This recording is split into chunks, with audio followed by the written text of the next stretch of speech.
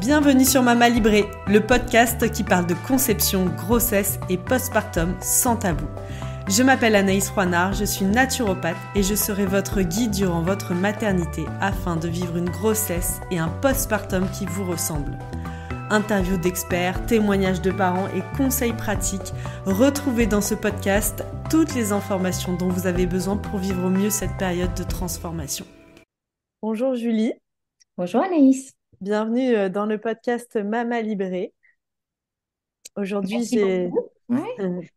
j'ai le plaisir de, te recevoir euh, sur un sujet euh, de prévention. Vraiment, c'est, on va aborder aujourd'hui dans cet épisode vraiment notre objectif, c'est de la prévention. C'est, on va parler de plagiocéphalie. Donc toi, tu es ostéopathe. Mm trouve euh, dans le 74 et tu fais partie de l'association Bébé Plagio 74. Exactement. Donc déjà, un grand merci à toi de nous laisser ce temps de parole et de diffusion sur ce sujet euh, et en particulier sur le, la rubrique de la prévention qui est extrêmement importante et qui touche énormément d'enfants, qui touche en, en moyenne 40% des nourrissons. Ah, ok, je savais pas que c'était un chiffre euh, aussi important, tu vois. Je savais que c'était important. J'ai déjà entendu parler euh, par les sages-femmes et d'autres ostéopathes. donc 40% en effet. Euh, donc l'idée, voilà, c'est que tu nous parles un peu. Donc déjà pour les, les parents, les mamans surtout, c'est vrai qu'il y en a plus de femmes sur Mama Libré pour l'instant. Les mamans qui nous écoutent et qui n'ont jamais entendu parler de la plagiocéphalie, ben, qu'est-ce que c'est? Alors, ça, c'est très important de bien comprendre qu'on va parler de deux choses, les déformations crâniennes positionnelles, et qui vont être de deux types sur lesquels je reviendrai tout à l'heure. Mmh Il ne faut surtout pas confondre avec la craniosténose. Et ça, je fais, j'invite les mamans qui auraient, euh, seraient tentées à aller voir quelques images sur Internet à bien se rendre compte que la plupart des images qu'elles vont voir assez affreuses sont plutôt des problématiques de craniosténose qui se soignent de manière chirurgicale. Donc là, c'est euh, voilà une, absence de suture euh, entre les os. Et donc attention, mesdames, ne, voilà, ne prenez pas peur en voyant ces images. La plupart du temps, ce que vous verrez, ce sont des craniosténoses et ça ne va pas être le sujet euh, d'aujourd'hui. Nous, on va parler des déformations crâniennes dites positionnelles. Qui font partie de... Excuse-moi juste, mais pour être bien clair, donc dans la plagiocéphalie, il y a deux choses distinctes c'est pas. C'est presque ça, parce qu'en fait, dans les déformations crâniennes positionnelles, il y a deux choses distinctes. Il y a ce qu'on appelle la brachycéphalie, où on va avoir un crâne qui va être trop plat à l'arrière, donc un crâne qui va se développer en largeur avec des grandes faces, des grands visages, et qui ne veut pas avoir beaucoup de profondeur. Ça, mhm. c'est la brachycéphalie. Et il y a la plagiocéphalie, ou l'asymétrie, elle va se faire que d'un côté. On va avoir l'impression qu'à l'arrière du crâne, il y a un côté du crâne qui pousse bien et l'autre qui reste plat. D'accord. En réalité, il existe même un troisième type qu'on appelle les dolicocéphalies, où le problème va être l'inverse de la brachycéphalie. Le crâne va être trop développé en longueur et pas assez en largeur. Et ça, c'est beaucoup plus rare et ça pose beaucoup moins de problèmes, donc on, on les traite moins. D'accord. Ok. Donc, déformation crânienne positionnelle, brachycéphalie, tête plate à l'arrière, euh, plagiocéphalie, tête asymétrique. Ok. C'est très clair. nos grands sujets. Nos grands sujets du jour. Donc, euh, quels, euh, voilà, quels sont les risques déjà? Est-ce que on pourrait considérer que c'est quelque chose qui va évoluer positivement, naturellement? Pourquoi c'est nécessaire d'intervenir et justement d'en parler aujourd'hui dans son podcast pour que les mamans soient en alerte et puissent l'identifier suffisamment tôt. Ok. Aujourd'hui, ça c'est important de bien comprendre qu'on a des études qui montrent que ça ne disparaît pas tout seul. Hein, on a eu beaucoup de travail à faire auprès des professionnels de santé notamment pour que ce, discours euh, cesse. Ce n'est pas encore tout à fait le cas, mais ça ne part pas. Et ça, on en a la preuve par les études aujourd'hui. En revanche, on a des comportements qui vont pouvoir favoriser la correction ou au contraire l'aggraver. Donc euh, voilà, mais ça ne part pas tout seul. Il faut faire quelque chose. Alors, bien entendu, dans les 40% que je citais tout à l'heure, heureusement, un certain nombre vont rester en dessous d'un seuil qu'on va considérer comme acceptable d'un point de vue esthétique et fonctionnel. Hein, ne va pas tout dégénérer dans des grandes amplitudes, mais ça ne part pas tout seul si on ne fait pas les bonnes choses. D'accord. Et donc, dans les bonnes choses, euh, quelles sont les pratiques euh, à avoir justement? À avoir. Alors, peut-être qu'avant de rentrer dans, dans, les, dans les bonnes choses, je vais finir sur la question que tu me posais précédemment, qui était euh, celle des risques. le premier risque, c'est un risque esthétique, mais je crois que dans le monde où nous vivons aujourd'hui, c'est un risque à ne pas négliger. Hein. il a souvent été un peu balayé. Oh, c'est pas grave, c'est juste esthétique.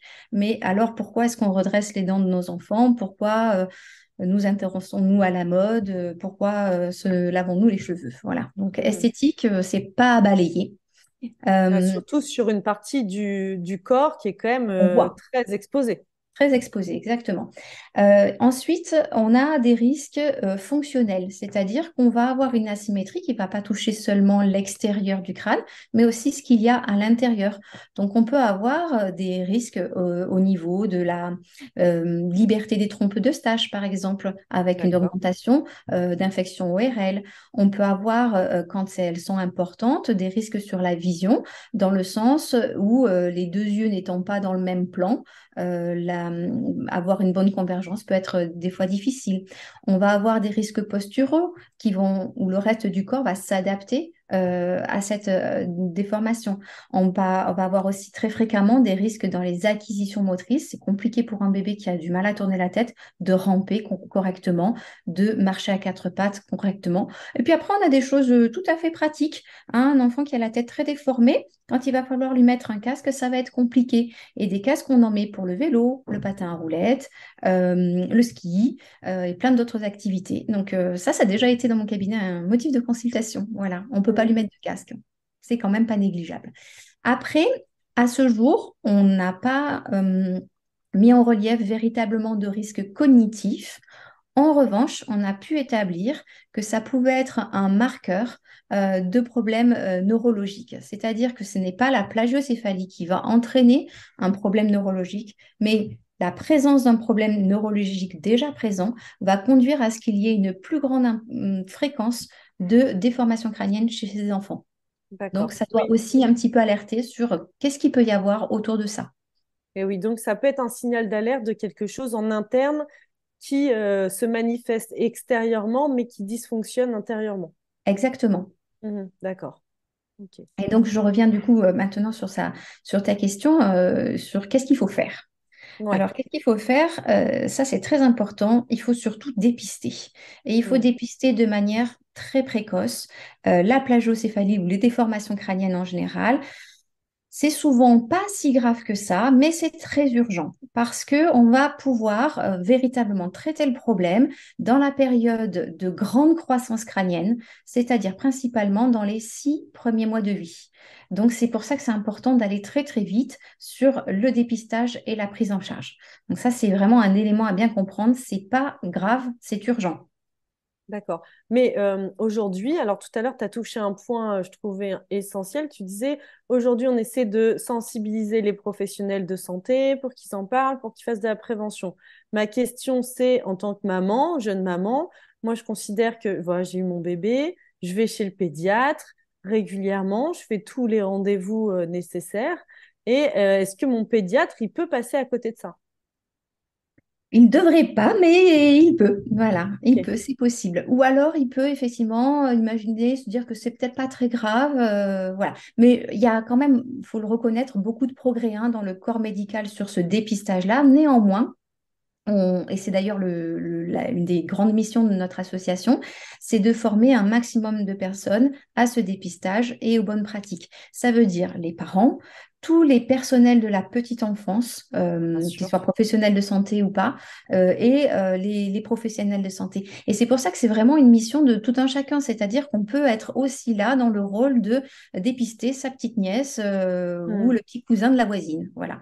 Donc ça, il y a vraiment une, une grande chose qui va permettre quasiment à tout le monde de pouvoir dépister certaines choses, c'est de regarder le bébé dans ce qu'on appelle la vue d'avion, c'est-à-dire le regarder par au-dessus.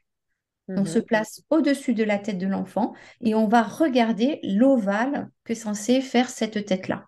Alors quand il est, par exemple, dans les bras de quelqu'un par exemple, il est dans les bras de quelqu'un, mettons en position assise. Alors, ça peut se faire aussi allongé. On va positionner une main sous le crâne de l'enfant et on va se baisser jusqu'à être sur le, en position de regarder le dessus du crâne.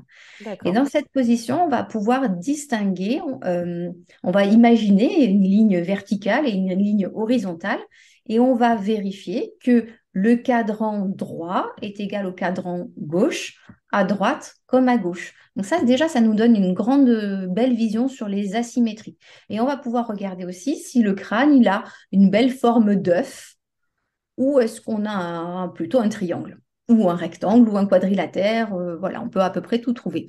Mais normalement, a une forme d'œuf avec, euh, voilà, bien symétrique entre la gauche et la droite. Et on pourra regarder aussi, euh, tout simplement en mettant les doigts dans les conduits auditifs, est-ce que les oreilles se trouvent sur le même plan ou est-ce qu'on a une oreille qui commence à se rapprocher euh, de la joue ou de l'œil d'un côté? D'accord. Ça, c'est vraiment un, un, examen qui est facile à faire, que tout le monde peut faire et auquel on doit faire confiance parce que c'est un, un excellent moyen de dépistage.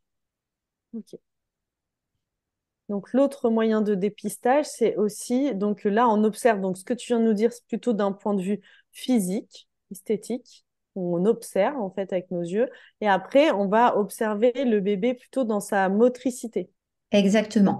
Et donc ça, il faut bien comprendre qu'une plagiocéphalie, donc là je reviens juste sur les déformations asymétriques, on aura toujours à un moment donné un bébé qui aura eu Hum, des difficultés à tourner la tête d'un côté, euh, soit qu'il aura qu'il ira moins fréquemment de son de ce côté-là, soit qu'il aura une moins grande amplitude dans le mouvement de ce côté-là. Euh, ça, c'est vraiment euh, extrêmement lié à ces déformations euh, asymétriques. Ça aussi, ça peut se remarquer. Alors, c'est difficile parce que les bébés, ils ont des tout petits coups. Et puis, en général, c'est pas tout ça qu'on regarde quand on fait des câlins avec son enfant. Mais ça, c'est quelque chose quand même que à la maison, on peut assez facilement tester en, lui faisant suivre un objet ou une personne ou une lumière, de vérifier que il va bien aussi souvent et aussi loin des deux côtés. D'accord, oui. Et ça, euh, c'est pas forcément. Donc, ça peut être une, quelque chose qui vient nous donner un indicateur sur une possibilité de plagiocéphalie, mais c'est pas forcément parce que mon bébé il tourne pas bien la tête à droite et à gauche. Enfin, il y a un côté où il y va moins bien qu'il y a la plagiocéphalie. Alors, elle y sera. C'est-à-dire ah. qu'elle elle peut ne pas y être encore. On peut avoir à ce moment-là un bébé avec une jolie tête bien ronde, mais si cette asymétrie est présente, de manière quasi inévitable, s'il n'y a pas de soins qui sont suivis, euh, il y aura une déformation qui va s'installer. Ouais, donc là, on est plutôt dans quelque chose de l'ordre de la prévention et euh, du coup même de, euh, des facteurs qui viennent générer la plagiocéphalie. Hmm. Voilà. Donc, les facteurs qui vont générer, ça va être cette, euh, cette euh, asymétrie de motricité euh, dans l'amplitude ou dans la fréquence. C'est aussi ces bébés, vous savez, un peu tout mous, les gros patapouf, là, tout mignons, qui regardent le plafond toute la journée, puis qui finalement ne tournent pas la tête, ou très hmm. peu. Hein. donc, ils vont avoir des deux côtés un manque de, de rotation. C'est tous ces bébés aussi qui se mettent énormément en extension. Euh, parfois hein, parce qu'il y a d'autres douleurs associées, hein, des douleurs digestives par exemple, et qui vont beaucoup appuyer la tête fort sur euh, le plan euh, où ils sont. Donc de toute façon, à partir du moment où on a un bébé qui, dont la tête est peu mobile, ou dont la tête est mobile de manière asymétrique, quand je dis la tête, bien entendu, il faut comprendre les cervicales, etc., il faut traiter, il, faut faire quelque chose tout de suite à ce moment-là, parce que la déformation, elle peut arriver ensuite très vite. C'est une période de grande mobilité du du crâne. Donc ça peut aller quand même assez vite. Oui, donc ça revient à ce que tu disais. De... C'est pas, enfin, c'est pas, grave, mais c'est urgent. Oui. Mhm. Il y a une notion d'urgence. Mhm. Dans le donc euh, dans pour finir sur le dépistage, tu disais donc la motricité et il y a aussi la notion de posture globale du corps. Tout à fait. Et ça, c'est une notion qui est importante parce que, en fait, la déformation crânienne du nourrisson, c'est la partie émergée de l'iceberg qui s'appelle le syndrome postural. C'est-à-dire qu'en vérité, cette asymétrie, elle va se retrouver sur l'ensemble du corps. Euh, elle peut se manifester de d'autres manières, notamment, notamment par les dysplasies de hanches. Euh, qu'on va retrouver d'ailleurs un peu plus fréquemment chez les petites filles, euh, euh, alors que chez les petits garçons, on va trouver plus facilement des plagiocéphalies.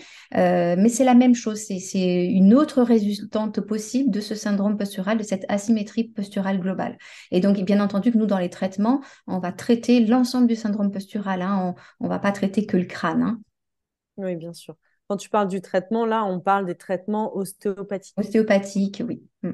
Mhm. D'ailleurs, en kinésithérapie aussi, hein, il oui, il y a les deux, ce syndrome postural global. Ouais.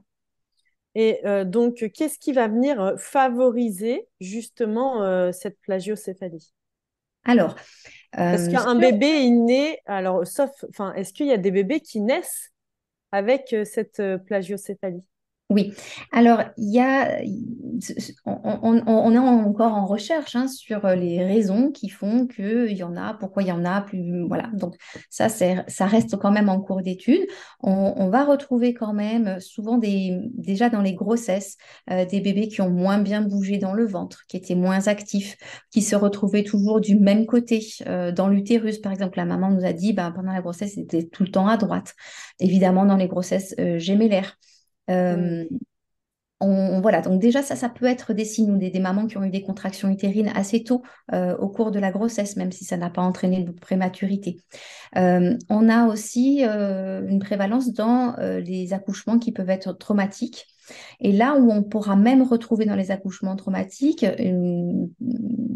pas mal de bébés qui auront eu ce qu'on va appeler carrément un torticolis congénital, alors qui va conduire aussi à la plagiocéphalie, mais qui lui euh, est désigné par la présence euh, d'une olive fibreuse, d'une fibreuse qui se fait dans le corps d'un muscle du cou à l'avant qu'on résume par euh, SCOM, le SCOM, son vrai nom c'est le sternocléido-occipito-mastoïdien, d'où l'abréviation.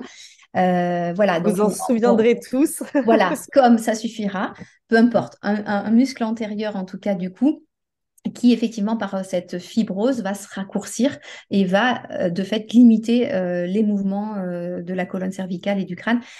donc ça, ça peut être une des raisons. ça, c'est les premières raisons évoquées. Après, on a pu retrouver par exemple une augmentation des mm, déformations crâniennes lorsqu'on a changé les normes des COSI. Euh, parce que effectivement, donc des cosy modernes, les enfants sont bien immobiles, ce qui est ce qu'on cherche en effet en cas d'accident, euh, mais qui peut poser de problèmes euh, quand on passe son temps à faire la sieste dedans ou à faire des promenades.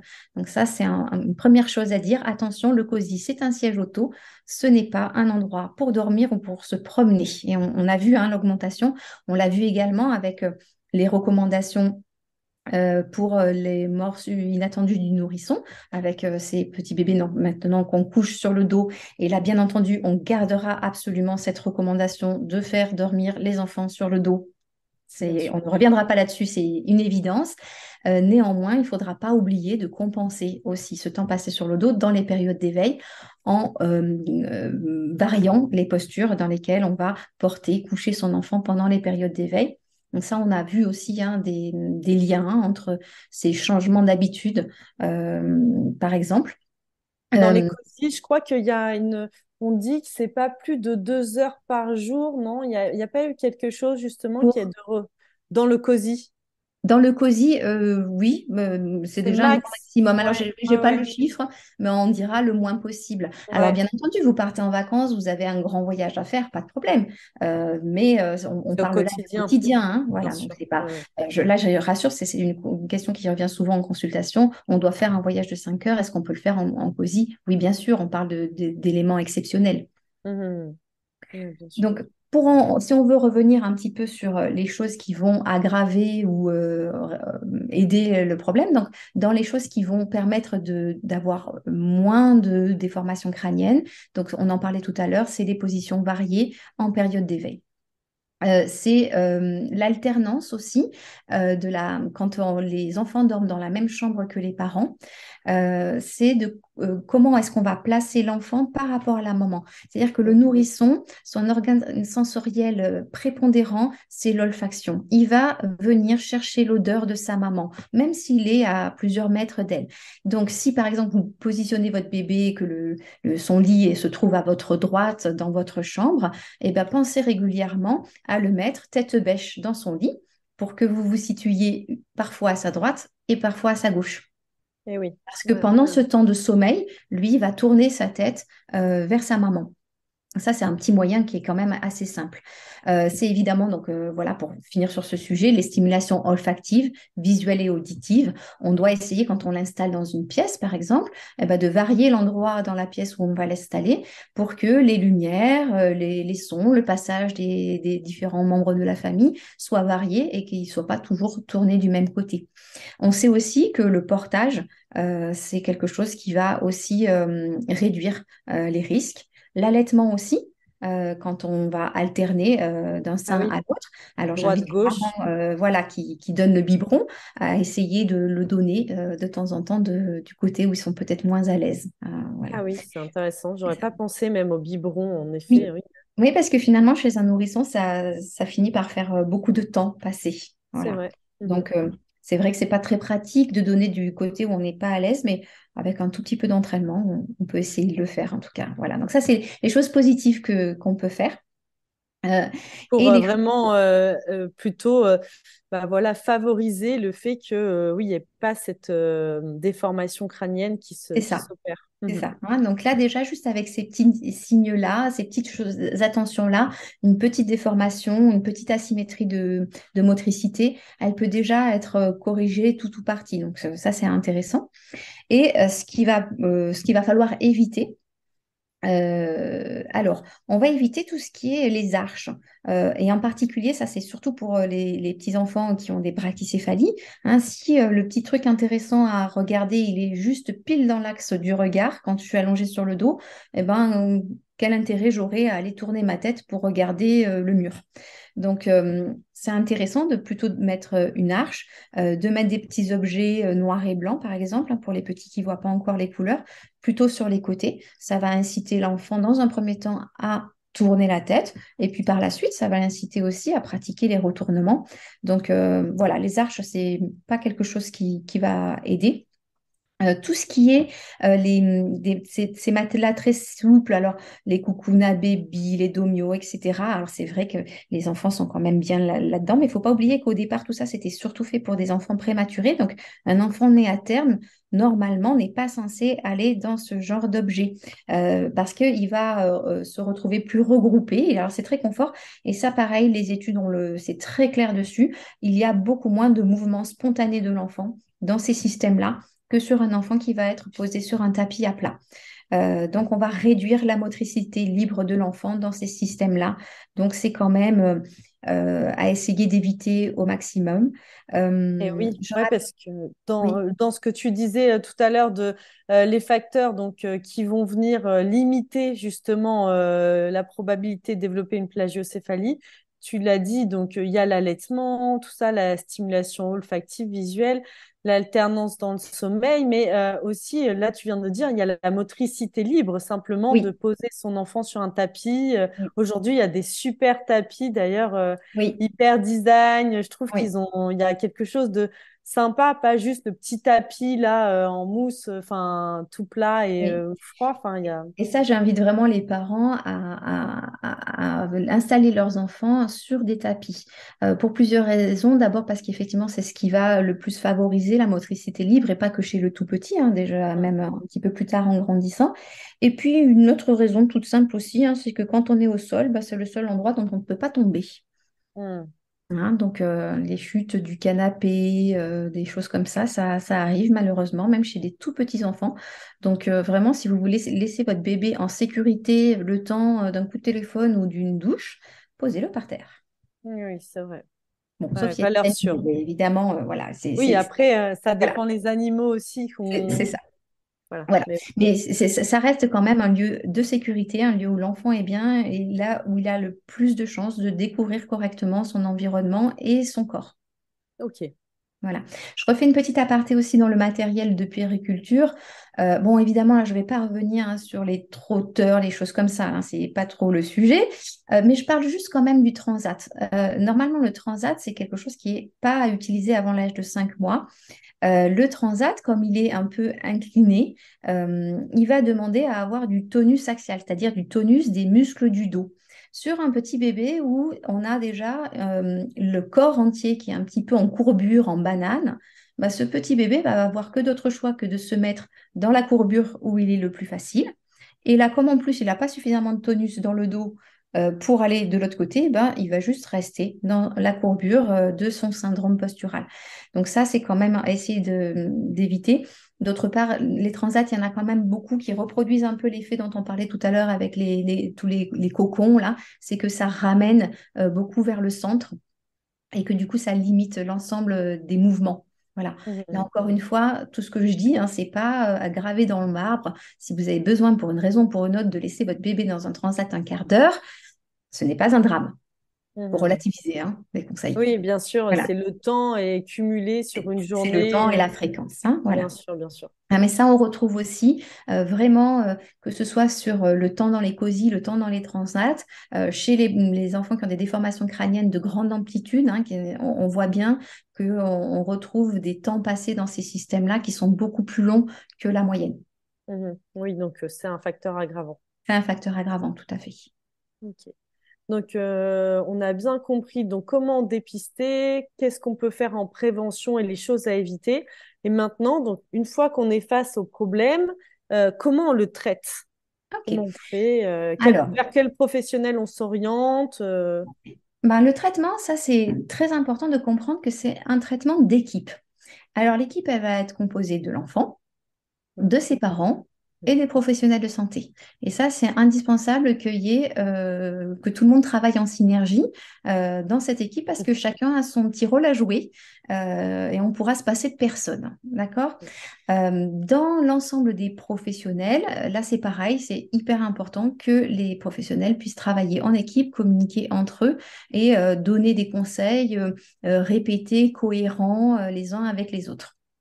Alors, euh, au niveau des professionnels de santé, là, je vais reprendre quelles sont les recommandations de la Haute Autorité de Santé euh, qui disent qu'on doit avoir, euh, dans un premier temps, un, traitement avec la kinésithérapie, avec l'ostéopathie et j'en reparlerai tout à l'heure avec l'orthopédie si vraiment ça s'avère nécessaire.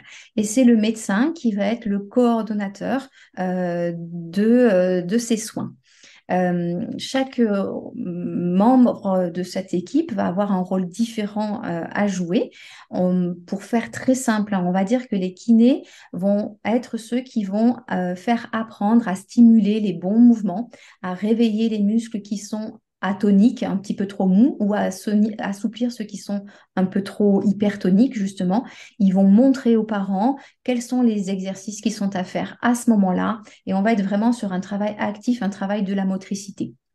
Mmh. Les ostéopathes, ils vont être plutôt là pour libérer euh, euh, ce qui coince. Ils vont libérer les sutures euh, du crâne, ils vont rendre la souplesse à tous les tissus. Et donc, en ostéopathie, on va travailler à la fois sur l'os, sa structure même, les articulations entre les différents os, sur les tissus tendineux, les tissus ligamentaires, les viscères, les fascias. Et donc, voilà, on va avoir un travail, nous, en consultation, beaucoup plus passif sur l'enfant, où c'est l'ostéopathe qui va faire son traitement et l'enfant qui n'est pas amené à participer de manière active euh, au traitement. Voilà. Donc ça, c'est vraiment, ça se fait à des rythmes particuliers en fonction de l'âge de prise en charge de l'enfant, euh, de, du degré euh, de la problématique, euh, où on va alterner une série de quelques séances de kiné, une séance d'ostéopathie et de nouveau quelques séances de kiné, par exemple. Ça, c'est vraiment les professionnels qui ont l'habitude de travailler avec ça qui vont se, se, mettre en lien avec ça. Là, j'attire vraiment l'attention tant des professionnels que des parents qui peuvent nous écouter. Euh, cette kinésithérapie pédiatrique ou l'ostéopédiatrique dans le cadre des déformations crâniennes du nourrisson, ça nécessite impérativement d'avoir une formation approfondie sur ce sujet. C'est-à-dire qu'un kinésithérapeute, par exemple, qui a l'habitude de traiter euh, les pathologies respiratoires du petit enfant, par exemple, n'aura pas nécessairement les compétences pour traiter les déformations crâniennes. C'est un tout autre travail. Donc, euh, vraiment, assurez-vous que le professionnel de santé que vous voyez soit formé de manière spécifique euh, à, ce, à cette prise en charge qui est très particulière. Euh, c'est un des grands autres volets du but de des associations euh, bébés. Euh, donc, c'est évidemment de dépister, prévenir, informer tout un chacun comme les professionnels de santé. Et l'autre volet, c'est de faire des annuaires de professionnels de santé dont on se portera garant que leur expérience et leur formation sont suffisantes pour apporter un travail de qualité dans le cadre de ces prises en charge. Et oui, c'est ce que j'allais te poser comme question. Je te remercie, tu m'as devancé sur la notion de oui, ok, bon, moi je soupçonne, euh, je vois que mon bébé, peut-être qu'il y a une déformation crânienne, euh, mais je vais chez mon ostéo qui a l'habitude de me suivre. Et en effet, peut-être que lui, là, tu as répondu à ma question en amont, bah, peut-être qu'il n'a pas la formation et les bagages et les outils nécessaires pour traiter mon enfant dans cette problématique. Exactement, même si c'est un très bon ostéopathe. Bien sûr, bien sûr. Mm. Euh, et pareil pour le kiné. Ok, pareil pour le kiné. Euh, est-ce que en tant que parent, voilà, moi je, je, vois ça chez mon enfant, je suis obligée de passer par mon médecin traitant ou je peux aller directement euh, chez un kiné spécialisé ou un ostéopathe spécialisé? Alors, on peut aller chez un ostéopathe euh, spécialisé. Par contre, on ne peut pas aller chez le kiné spécialisé sans ordonnance du médecin. D'accord. Et l'ordonnance, elle devra être très spécifique. Elle devra vraiment préciser que c'est une rééducation neuromotrice dans le cadre d'une asymétrie posturale. C'est vraiment absolument ça qu'il faut qu'il y ait marqué sur l'ordonnance pour que ce soit correctement codifié. donc, on ne peut pas aller chez le kiné sans, l'ordonnance. Ok. Et euh, dans, donc aujourd'hui, votre annuaire, euh, donc là, il y a cinq associations de bébés euh, plagio euh, en, France. Il y en a une dans le Morbihan, deux dans le Rhône-Alpes. Donc on est bien lotis ici, dans le 69 et le 74, où tu te trouves. Il y en a dans la Manche et l'île de France. Oui. C'est-à-dire que moi, si, je sais pas, moi, je suis plutôt dans l'Ouest. Mm-hmm. eh ben, c'est plus compliqué. Ok, je me débrouille. oui, c'est un, peu plus compliqué. Alors, en général, euh, les professionnels de santé locaux, euh, les sages-femmes en particulier, les médecins généralistes, les pédiatres, euh, normalement, localement, ils connaissent hein, les professionnels de santé habilités à faire ce suivi. D'accord? Donc, c'est pas parce qu'ils sont pas référencés dans notre annuaire parce qu'ils ne sont pas dans le département qu'il n'y en a pas ailleurs, bien entendu. voilà, en général, voilà, si vous vous rapprochez de, de ces professionnels, sages-femmes, kinés, médecins généralistes, ostéopathes, normalement, ils savent euh, quels sont les professionnels euh, dans, le, dans le coin. Ok, super. Euh, donc, une fois que j'entame ce parcours, est-ce que je peux être remboursée? Est-ce que c'est pris en charge par la sécurité sociale? Comment ça se passe? Ah, c'est une très bonne question. Euh, euh, je, finis juste sur le parcours euh, pour bien redire qu'on a parlé du travail d'équipe. moi, j'aime bien donner cette métaphore, c'est que l'ostéopathe, un peu comme une, porte qui serait fermée à clé, cette problématique, l'ostéopathe va déverrouiller la serrure. Euh, mhm. le kiné euh, va montrer comment on ouvre la porte et les parents vont faire euh, coucou derrière la porte pour inciter l'enfant à l'ouvrir. Et c'est pour ça qu'on a vraiment besoin de tous les acteurs. ça, j'aime bien le dire comme ça parce que ça parle assez bien sur quel est le rôle de chacun. Et donc, je reviens vraiment absolument sur le fait que si les parents ne sont pas ensuite acteurs de mettre en place euh, à la fois les moyens de prévention, euh, d'éviter ce qui aggrave et de pratiquer ou faire pratiquer par l'entourage. Hein. Ça peut être aussi les nounous, ça peut être le personnel de crèche. Euh, les exercices, on va se, souvent se confronter à des difficultés. Alors, pour le remboursement, au niveau de la kinésithérapie, c'est remboursé à 70% par la sécurité sociale. Les 30% qui restent sont quasi remboursés par la totalité des, mutuelles. Je ne crois pas qu'il existe de mutuelles qui remboursent pas euh, ces 30%-là.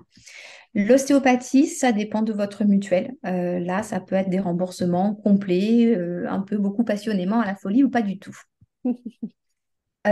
ensuite, une autre chose là qui va faire l'objet éventuellement d'un remboursement dont on n'a pas encore parlé ici, ce sont les casques orthopédiques.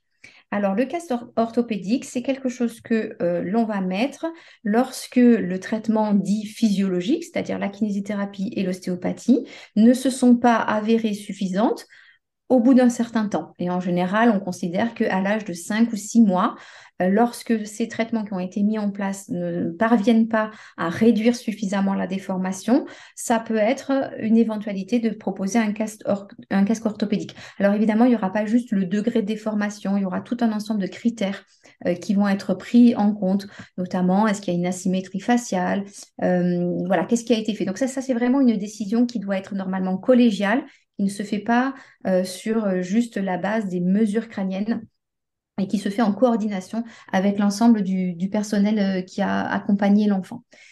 donc, quand la décision est faite de proposer un casque orthopédique, là, il va y avoir une possibilité qui est assez récente d'ailleurs de remboursement de ce casque parce que c'est quand même un coût relativement important qui en général se situe entre 1500 et 2000 euros.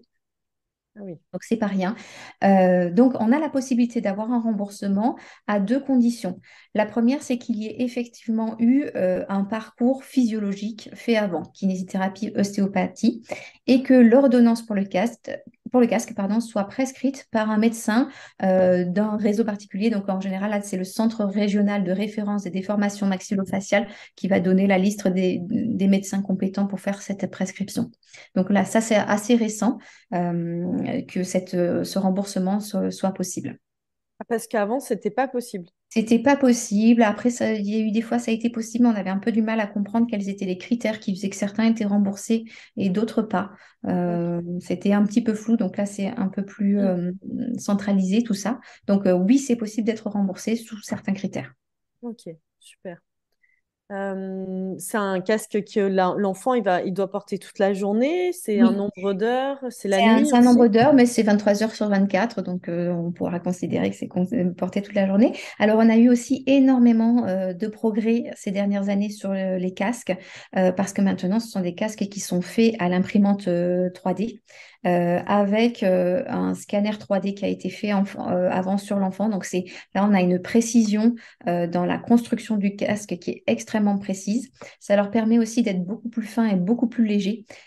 donc ils sont extrêmement bien supportés par les enfants. En général, on a le, traumatisme du casque, il est surtout sur les parents que sur l'enfant. Hein. Les, enfants supportent très très bien les casques. C'est plus difficile pour les parents d'accepter de le porter.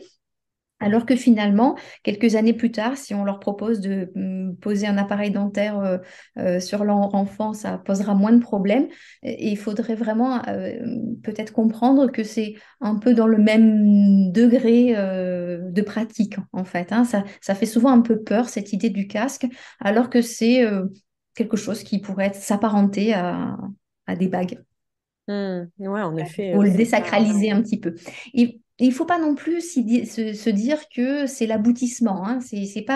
On ne doit pas faire le traitement physiologique en attendant que ce soit l'âge d'avoir le casque. Hein. Heureusement que le casque, c'est vraiment dans de rares cas qui n'ont pas répondu suffisamment bien ou qui étaient trop importants pour que le traitement physiologique euh, se fasse. Hein. Ce n'est pas une fatalité euh, lorsqu'on va suivre un enfant qui a une brachycéphalie ou une plagiocéphalie d'aller jusqu'au casque. Oui, bien sûr. Oui, oui, il y a d'autres euh, choses. Enfin, il y a bien des choses en amont à faire et à mettre en place. Et ça, c'est un peu le dernier recours. C'est un peu le dernier recours, mais il ne faut pas non plus en avoir peur. Quand euh, l'équipe euh, propose ça, c'est que c'est utile et nécessaire, ça donne de très bons résultats et c'est très bien supporté par les, par les bébés. Mmh, ok. Merci beaucoup, Julie. Avec plaisir. Pour tout ce que tu nous donnes comme information. voilà peut-être qu'on peut euh, voilà, euh, dire aux, personnes qui nous écoutent ben, où te retrouver, où trouver l'association via les réseaux sociaux. Euh, mhm. Il y a Facebook, c'est ABP74. Tout à fait. Voilà, donc là, on a un site sur Instagram qui s'appelle Association Bébé Plagio 74. Il y a un S à bébé, c'est bébé au pluriel. Euh, Facebook, oh, pardon, Facebook, tu l'as cité. On a une adresse mail aussi euh, qui s'appelle plagiocéphalie au pluriel 74@gmail.com. Euh, je vous mets au défi donc d'écrire plagiocéphalie correctement. Je, laisserai le moteur de recherche vous guider là-dessus. On a aussi des événements qu'on a déjà organisés hein, ici sur le bassin de, Haute-Savoie. on en a parlé rapidement tout à l'heure, hein, des conférences pour les professionnels de santé, des journées mondiales de la plagiocéphalie. en général, ça se fait en avril, parce que c'est là que se situe la date, où on va essayer de faire des petits parcours de dépistage pour montrer, on a un médecin, un kiné, un ostéopathe, un orthopédiste, et on va pouvoir comme ça suivre le parcours de soins euh, pour savoir qu'est-ce qui se passe dans une séance d'ostéopathie, qu'est-ce qui se passe dans une séance de kinésithérapie. On peut faire du dépistage en général quand on fait ces journées portes ouvertes comme ça. Euh, les parents peuvent aussi venir avec leur bébé. La prochaine d'ailleurs est euh, au mois de novembre.